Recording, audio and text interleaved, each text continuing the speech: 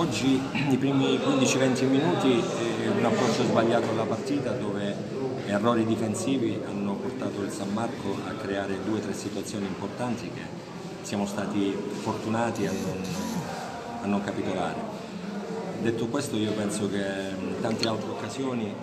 siamo stati capaci di divorarci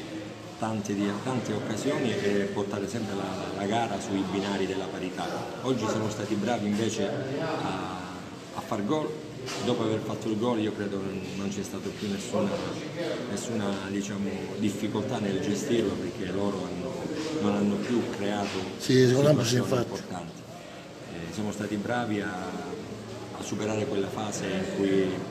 si poteva, ripeto, ricapitolare, ricapitolare però chi, chi, è che non nel calcio, anzi io dico la verità, vorrei soffrire come ho sofferto oggi e vincere le partite, eh,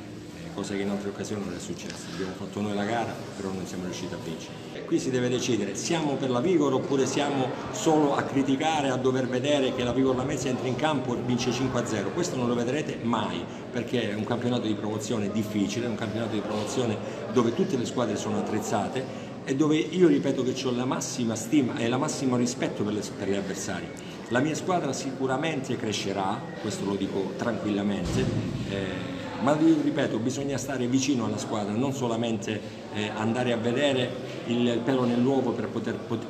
avere il modo per poter criticare sistematicamente la, la, la, la situazione del, del momento, un'occasione sprecata o il resto. Sbagliare un gol fa parte del, del calcio, eh, non subire gol fa parte del calcio, quindi io mi prendo eh, tra virgolette le situazioni sfavorevoli tipo domenica scorsa, ma mi prendo anche le situazioni favorevoli nei primi 15 minuti dove non abbiamo subito eh, diciamo, la loro pressione, però sono, siamo stati bravi a portare il risultato nella nostra parte e faccio un plauso ai ragazzi.